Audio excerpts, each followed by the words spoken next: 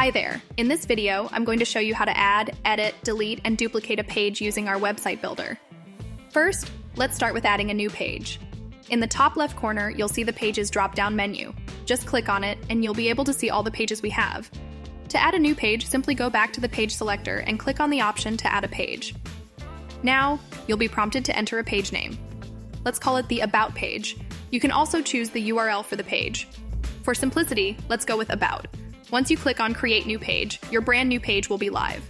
From there, you can drag and drop any element you want onto the page. Next, let's talk about duplicating a page.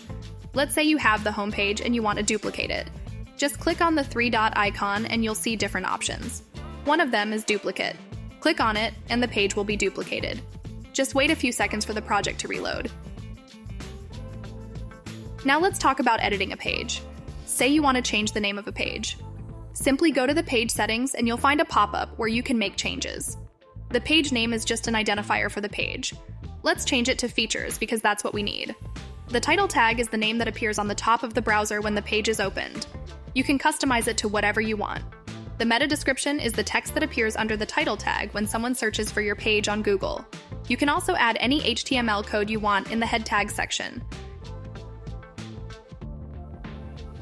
If you want to delete a page, just go back to the Pages dropdown, click on the three dot icon, and select Delete. You'll be asked for confirmation, and once you confirm, the page will be deleted. That's all for adding, editing, deleting, and duplicating pages using our website builder. Feel free to let us know in the comments and support chats if you have any further questions. Have a good one!